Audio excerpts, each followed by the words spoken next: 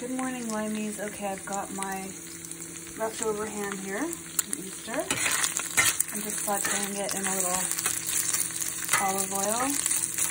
And I'm going to add some turmeric, garlic, rosemary, um, basil, and eggs to make a yummy breakfast. Okay, I've got my fresh rosemary, slightly wilted fresh basil, garlic, which I actually remembered to cut up early this time because if it sits out on the counter for 10 minutes, you're going to increase the medicinal value.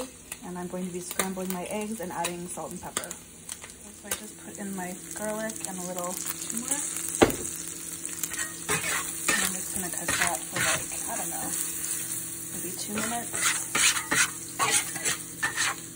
So turmeric is anti-inflammatory and antimicrobial and garlic is antimicrobial. And I've got my herbs that I chopped up. I'm gonna put in with my eggs where I've already added salt and pepper. And then I'm going to uh, whisk those up. Add a little tiny bit of water, like half a teaspoon, and add them to my ham, garlic, and turmeric.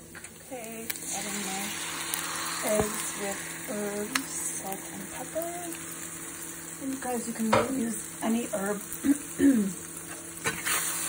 any herb is a good herb. Parsley, oregano, cilantro, whatever you like. And if you want to add a hot pepper, if you're into hot peppers, you can also saute the hot pepper a little bit with the, with the garlic. Easy.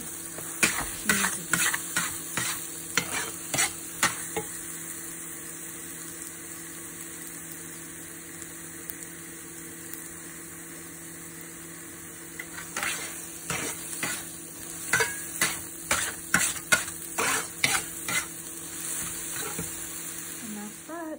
Another delicious breakfast.